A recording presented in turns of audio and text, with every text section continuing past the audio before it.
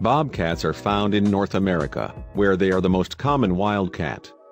They are closely related to the lynx, but generally a little smaller. Two adult female bobcats do not share the same territory. Bobcats are solitary animals. They can live in forests, mountain areas, or semi-deserts. These cats are quite adaptable, and they don't seem to mind living around humans. There have been reports of bobcats showing up in people's backyards. They will act like typical cats if chased by a dog and climb a tree. In August of 2015, Catherine Riefenstein was able to get some photos of bobcats in her neighborhood in Calgary, Alberta. Well, actually the family showed up on her front porch.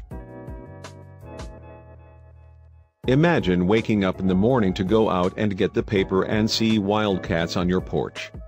Catherine saw a mama and her three kittens that morning. How adorable are those little kittens. They came right up to her front door and put their not-so-little paws on the lip of glass door.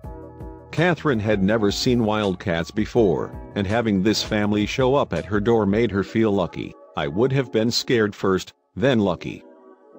After she had snapped a few pictures, the whole group left and headed across the street.